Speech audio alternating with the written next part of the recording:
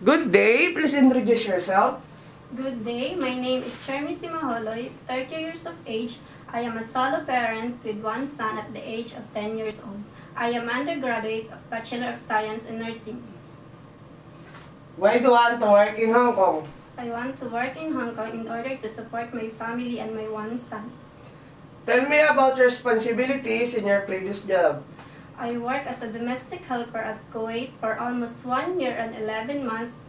Early release finished contract start on started on August 15, 20, August 19, 2015 until July 4, 2017. What are your duties? My duties are fixing bed, cooking, and marketing. Did you take care of baby, child, or elderly? I took care for three children at the age of 12, 14, and 16. Can you tell us how to take care of children?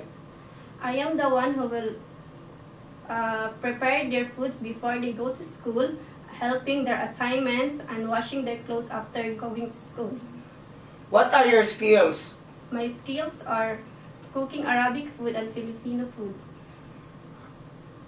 The traits necessary to be a good domestic helper? As a domestic helper, it is necessary to it is necessary to be loyal, honest, and trustworthy.